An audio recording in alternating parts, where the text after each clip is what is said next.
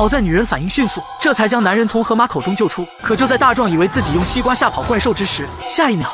一条巨蟒赫然出现，直接将其拖走。不等众人目瞪口呆，大壮却直接原地重开。看着如此恐怖的丛林，几人只好迅速撤离。转眼间，他们就逃到了沙漠之上。还没等几人缓过神来，强哥就突然发现远处仿佛有什么东西正在不断逼近。定睛一看，原来是一大波丧尸鸵鸟军团。众人不敢迟疑，立马上车开始逃离。然而鸵鸟大军却并不打算就此作罢，迈着发达的双脚就紧随其后。趁着两人愣神之际，鸵鸟哭哧一口便将小黑叼离座位。幸亏强哥见状，立马将其抓住，这才免受其难。就在不断拉扯之际，谁料包里的 RPG 竟意外跌落了下来。下一秒。喷射的核弹瞬间炸裂开来，凭借着爆炸的余波，强哥顺利将同伴拉回座位，接着又酷吃一拳将鸵鸟打飞十万八千里，在半路上又把小美两人接上，便开始继续逃离。正当强哥成功甩掉鸵鸟群时，谁料转眼间几人再度陷入危机。只见不远处突然出现一道巨大的沟壑，危机时刻，强哥顺利停了下来。男人看着眼前的小山坡，当即便做出了一个违背祖宗的决定。只见强哥随即开足马力就朝着鸵鸟群直冲而去，在即将撞上之时，又立马打满方向，直接来了个一百八十度大漂移，接着便径直的朝着山坡冲去。被戏耍了的鸵鸟大军瞬间上头，随即酷吃一口便将钢板掀翻。千钧一发之际，强哥一脚踩死，整辆车就如同离弦之箭一样飞了出去。无奈速度却并不足够。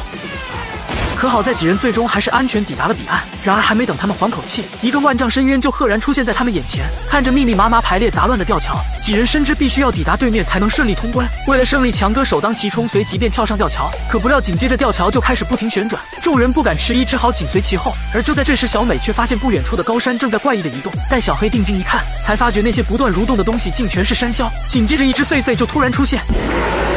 听到召唤，数万只同类瞬间倾巢而出，众人只好立马掉头开始逃离。眼看灵敏的山魈很快就已追至身后，危急时刻，小美却突然走错方向，看着越来越远的同伴。更糟的是，身后还突然出现一只猛兽，下一秒，狒狒就突然发起攻击，当着众人的面就将女人扔进万丈深渊。可紧接着，小美就原地重开，成功掉进下方吊桥。然而转眼间又轮到大漂亮陷入危机，千钧一发之际，好在强哥及时赶到，酷吃一脚就教狒狒做人。殊不知这却成功激怒了他们。眼看狒狒群直逼而来，强哥使劲一蹬，便玩起了蹦蹦床。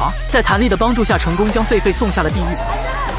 随即，强哥顺势而上，终于和小黑汇合。就在几人正向下的吊桥转移时，意外却突然发生。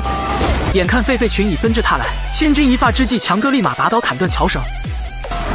谁料狒狒群却选择迎难而上，男人只好再度砍断绳索。得亏最终两人成功逃生，可紧接着下方的狒狒群又再度出现，眼看陷入癫狂的怪兽正翻越栅栏直逼而来，众人只好立马开溜。然而下一秒就被团团围住，无法动弹。就在几人即将饮恨西北时，一只黑马及时赶来，对着狒狒就一顿酷吃。